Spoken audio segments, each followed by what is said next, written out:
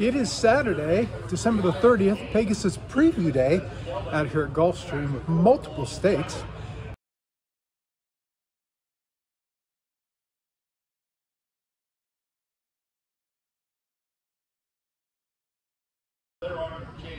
Here we are for the big day.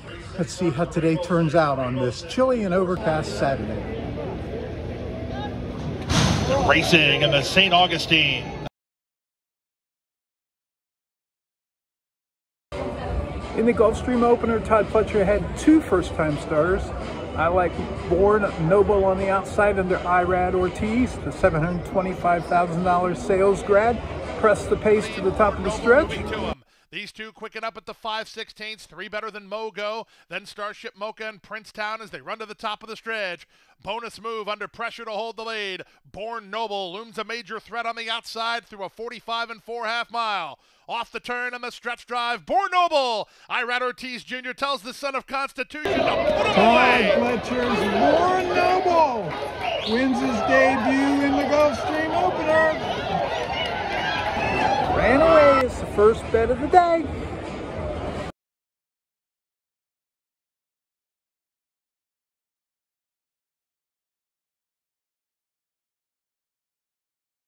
We reach the top of the stretch, and regulatory risk has got plenty so far. It's regulatory risk, maybe a little green there for just a moment, but Manny Franco straightens regulatory risk. But did that open the door for value area, who's trying to come up alongside? Regulatory risk is trying to gut it out. Value area just can't close into that margin. Regulatory risk is almost there. Value area clear second. Regulatory risk wins the opener. Regulatory risk over value area.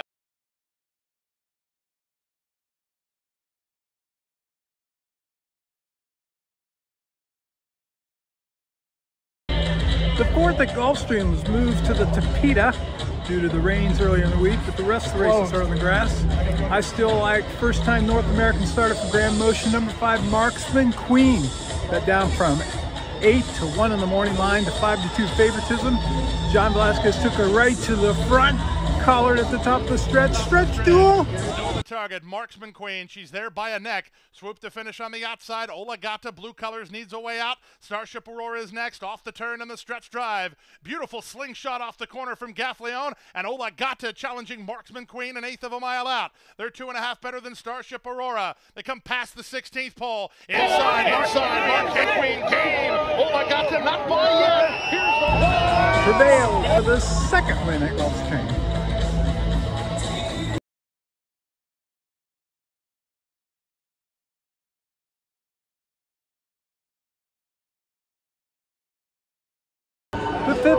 At was the first of the stakes races, the Rampart for fillies and mares going a one-turn mile.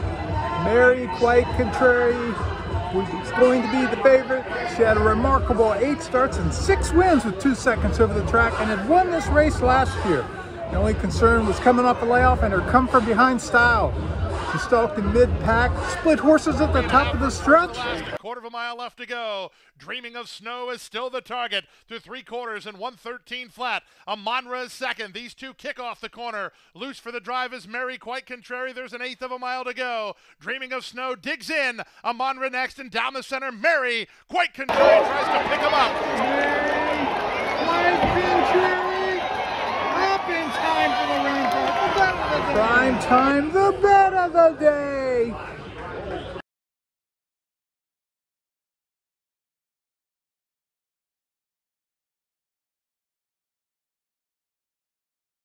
They race to the top of the stretch and past the quarter pole. Super Bourbon turns for home. Super Bourbon kicks away by two. Guapanus game and trying to come back more on the inside. And Motivo right there alongside of that one. If followed by Brush Back and Infinite Series way out in the middle of the track. Furlong left to go. Super Bourbon holding by two. On the outside, Infinite Series is coming. Here comes Brushback, very game. Brushback charging hard at Super Bourbon. Super Bourbon holding on. Super Bourbon wins at a half length.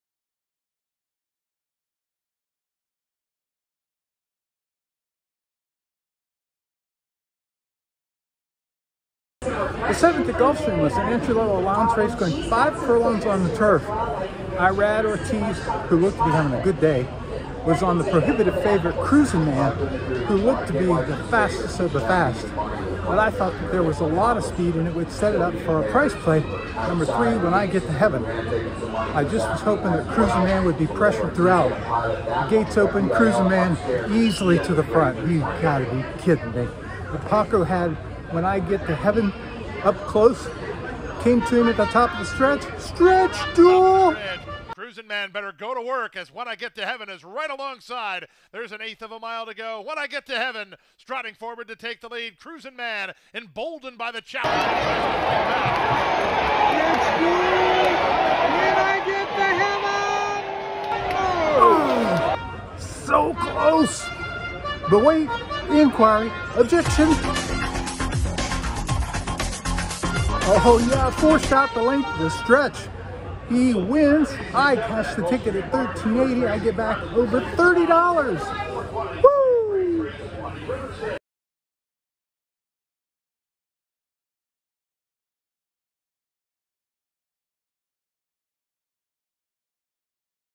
The eighth at Gulfstream was the first of the graded stakes.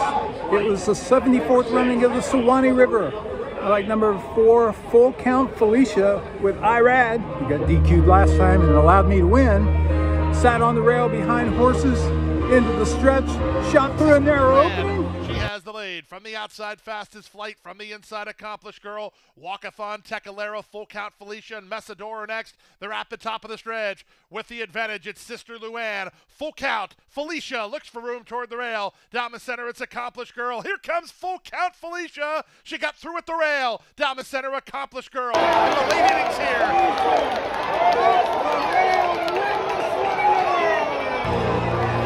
Double the bet. Oh yeah, first graded stakes win in the Gulfstream meet.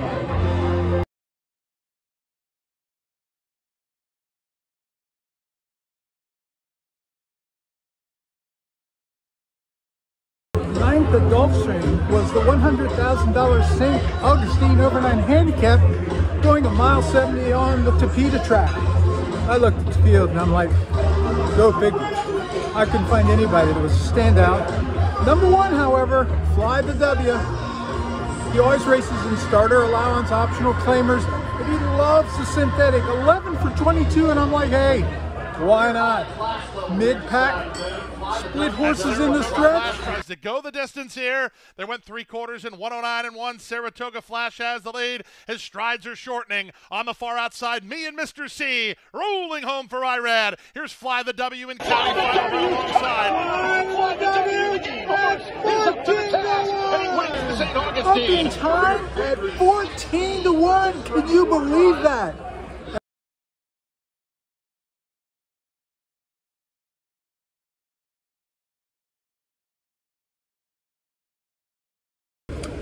Left the races early on Saturday in order to get to the Panthers game against Montreal tonight, but there was some late stakes action.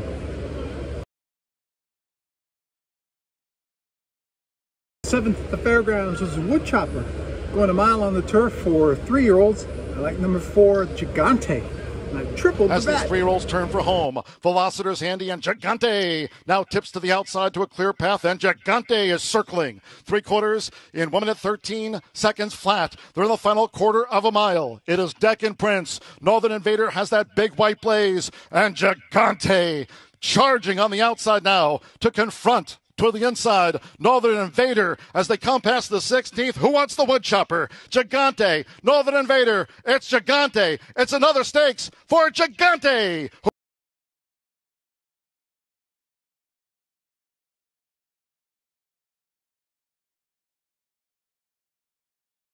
In chase mode second, Sir Wellington under a drive now third. The Necker Island ultimate, the other three well behind Skelly, who comes off the turn, still in front, edge to edge, trying to put up a fight today. And second on the outside, switches leads. Skelly asked to quick, and he does so. Edge to edge, fighting to get by him. He's still second as Skelly hits the 16th pole, two clear. Edge to edge has run a very brave race today, but it's Skelly, and Skelly is back in business. Skelly wins it.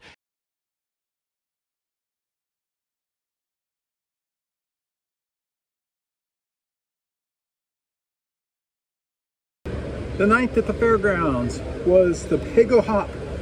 and it was the companion to the wood chopper. This one was for three-year-old fillies, going a mile on the turf, and I like number three, Too Funny doubled the bet. Across the course, storm Stormbake condensation. Musical score as they turn for home, and uh, Annalise dropped all the way back to last. Three quarters and 113.56 seconds. It is toward the inside. Callie's grit. Condensation looks to gain with the rail and is coming through. Free look under pressure. Go musical score. Watch this. Birdie is mounting a late charge, as is Tufani near the stand side rail. Here comes Tufani for Ben Curtis right over the top. Tufani takes the Pago Hop by two from condensation.